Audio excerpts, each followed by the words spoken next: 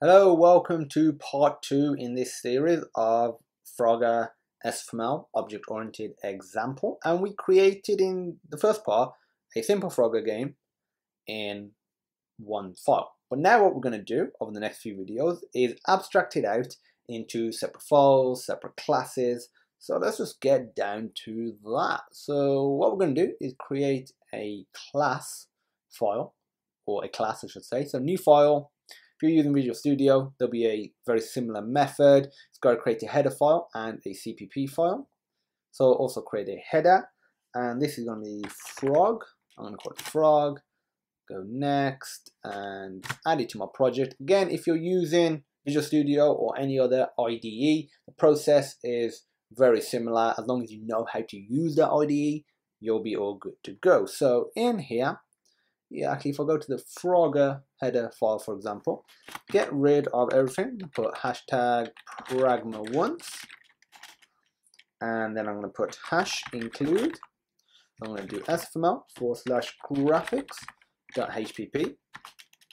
Now I'm going to create a class called frog, and in here, I'm going to have a few public methods.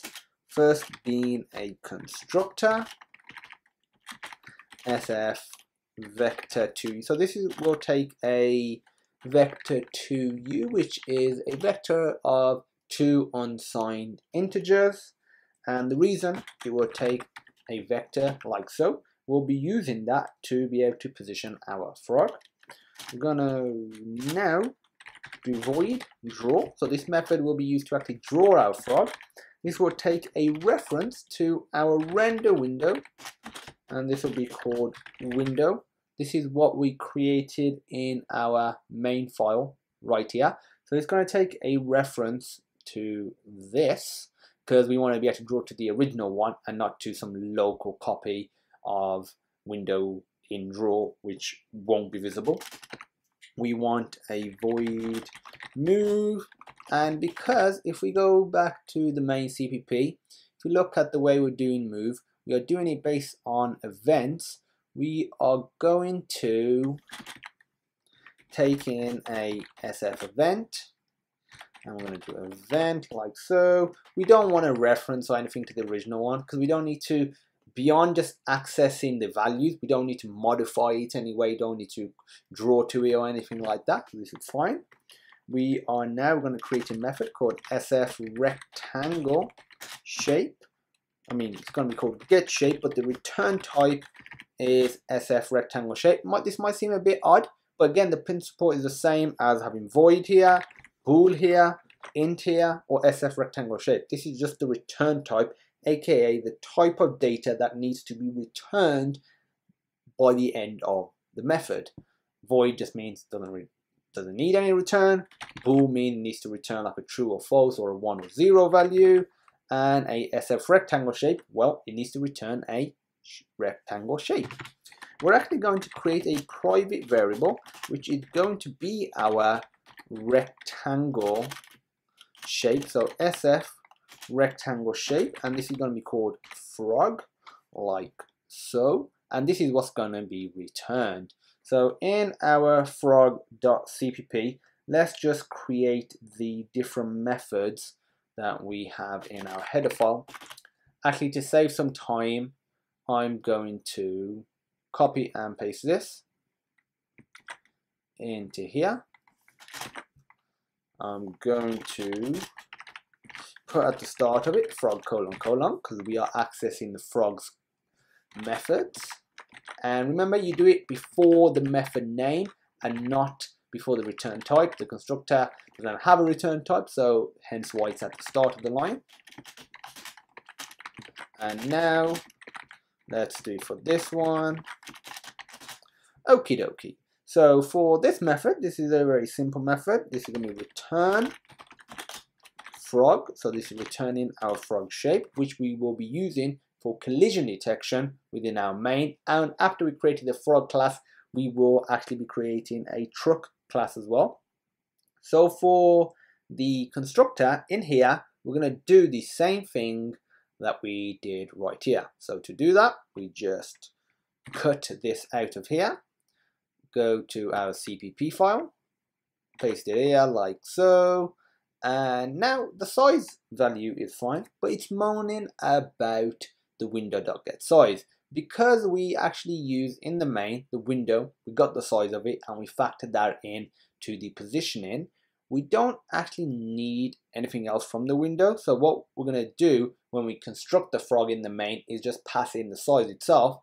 So we can replace window.getSize with size.y like so that's a-okay that's fine now. Now for the draw method we are going to get what we the line of code that we use to draw it which is this. So if we cut this go into CPP paste it here. So window is what's passed in as a reference. So it's accessing the original window. It's accessing the draw method of the original window and we're passing in the frog shape that we created here. So now what we're going to do is implement the move method for that.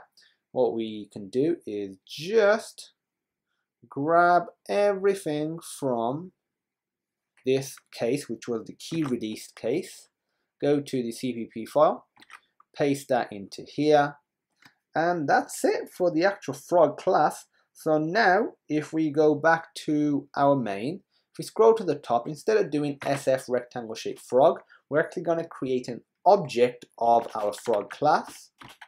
So if I do hash include, we need to include the frog header file, and we're going to do frog, and I'm going to call it frog. I'm going to construct it with the window.get size, and now everywhere that we was using frog before, so when we was moving it, we called the appropriate method. So frog, so this is the object, not the class, the object that we created here, which happens to be called frog with a lowercase f, dot move, we pass in the event, which is what we created here. So we do event, like so. And now what we need to do is instead of doing frog.get global bounds, we need to replace this well, actually, because we're going to get the global bounds of the frog shape that's returned, frog is also the name of our object. So we should do get shape, and this gets the rectangle shape. And if we do dot, this now gets the global bounds. And finally, instead of doing window.draw, we do frog.draw, passing the window as a reference by putting window. Now if we run it, as you can see, we still have the exact thing that we did last time. So we've done the frog aspect of it now. Now let's implement the truck part. So the truck part is actually going to be very similar. So let's create a truck class. So new file. This is going to be C++ file and I'm going to call it truck. And now, in I'm to get rid of these comments. Don't don't get rid of the hash include. In the header file, get rid. Uh, let's reopen it because sometimes it does this. Let's just put hash pragma once. And now, because it's going to be very similar to the frog class, let's copy and paste this into here. There's no need for me to do that actually and rename this to truck. So I need to sort out the truck method as well. For the draw, that is a-okay. For the movement, we're not moving it based on an event, we're moving it based on a particular x and y value. So we are actually going to pass in a sf vector 2u, and this is going to be a size value. We are still getting the shape, and for this, we're going to call this truck. We need a couple of float variables, so float original pos x and then original pos y. So this will be used when resetting the position of our truck when it goes off screen because we need to know where was it originally set.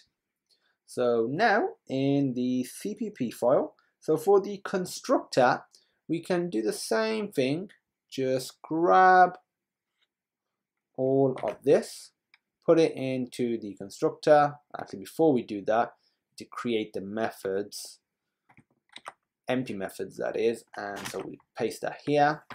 Remember, we are accessing methods of the truck class, so truck colon colon, and truck colon colon again.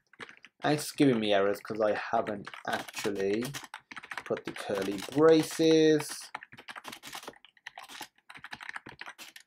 And now for the get shape, remember you just do return truck or whatever your shape happens to be called. If we go back to the main again, I need to undo this so I can cut it, go to truck CPP, paste this here. So now let's fix some of the errors that we're getting. So instead of doing window.get size, we are actually doing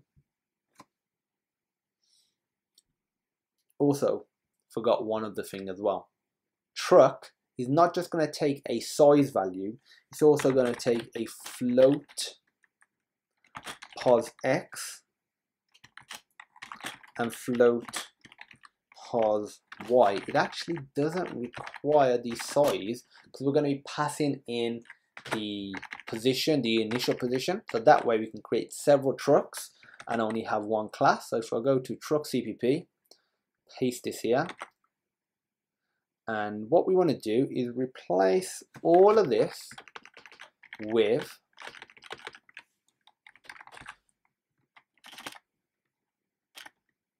pos x and y like so. And the last thing we're going to do is assign pos x and pos y to original. Pos x equals pos x. Original. Pos y to pos y like so. Now for the draw method. Very simple same as last time. Window dot draw. And we just put in truck and if we go to our main, we will now get this which moves our truck. So if we cut that, go to our CPP file, paste it into here. So this moves the truck, and it checks the position. So instead of doing window dot get size, oh, I didn't realize that the autocorrect did sf colon colon window dot get size that wasn't needed. All you needed actually was this in the previous video. So that was my bad. That that should not have been there. So instead of window.getSize, we just put size.x and we just put size dot y like so. So now if we go back to our main, essentially the same principle as before. Instead of creating a rectangle shape, we need to do hash include truck, not CPP, truck.hpp. Now what we're going to do is do truck, name it truck. Remember we are passing in the initial values, the initial position. So I'm going to put 0, window, dot get size, dot y divide by 2, now if I scroll down, we don't need to do anything with the events for the truck, but in the update, instead of doing the movement here and checking if it's gone off the screen, what we are actually doing now is truck.move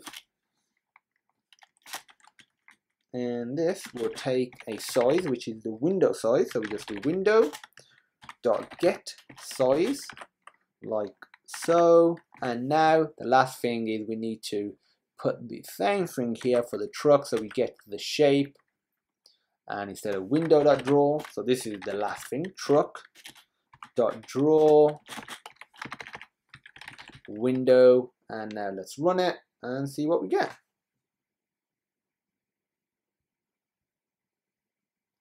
Okay, just need to shut down Xcode. I was having this problem last video as well. But sometimes it's just my computer. I need to fix Xcode. So if I shut it down, reopen it, run it, and here we go. You might thinking there's nothing that's changed. and you're correct. At the moment, we were just trying to make it to the same thing that happened last time. You may have noticed that it actually went up, the truck did, so let's have a look at why it went up. So let's have a look at the truck CPP. So in truck CPP, what we do is when we set the position, we do the trucks get size X, that's fine. We also do size.y minus truck get size. And what we, we don't actually want to do that. We want to set it to the original position. So original pos.y. And the reason we're not doing that for the original pos x is because it would actually be on the screen. Remember in the last video, when it went off, it sort of just jumped on the screen to its initial position. We want it sort of offset so it moves onto the screen. Now let's run it. So now, let's go here. That truck really should be faster. This should move on to the same level, which it did. Let's make sure the collision is working. There you go. We still have our amazing Frogger example, but now it's in classes and it's just a lot more elegant. So let me show you something pretty darn cool. If I were to create another truck, call it truck 2 for example, and maybe I were to set the position of this truck to be, say, divided by 4, so it's in a different Y position, and let's create another one, truck 3, and I'm just going to do, I'll, I'll just set this to 0 so it's at the top, and now to move it, all we do is duplicate this method, two, three. To draw it, all we do is two and three. We're not going to check for any collision. You will just need to duplicate this and change this to truck two and three. But as you will see now, we have three different trucks with very minimal code. So instead of having to duplicate a ridiculous amount of code, we just need to create another object. That's the beauty of object-oriented object-oriented programming. You don't have to repeat the process of let's say moving it the same way again and again. You don't have to repeat the process of drawing it or like the check for if it's gone off screen. Once you've got it working once, you can just keep reusing it. I'm actually going to get rid of these because you can add as many as you want, but we don't need this for the next few tutorials. Okay, so we've got a pretty cool Frogger example. So this is just the class introduction to making it object oriented. What we're gonna do next is create a game class which will actually abstract out pretty much everything from the main. So the main will be about 10 lines of code, something ridiculously low, and it's just going to be even easier to manage. So thank you for watching. If you have any questions, feel free to post them on our educational platform, sonarlearning.co.uk. There'll be a link in the description to that, plus a link to the GitHub page, which contains the source code from every video in this series. And as usual, thank you for watching, and I hope you have a great day.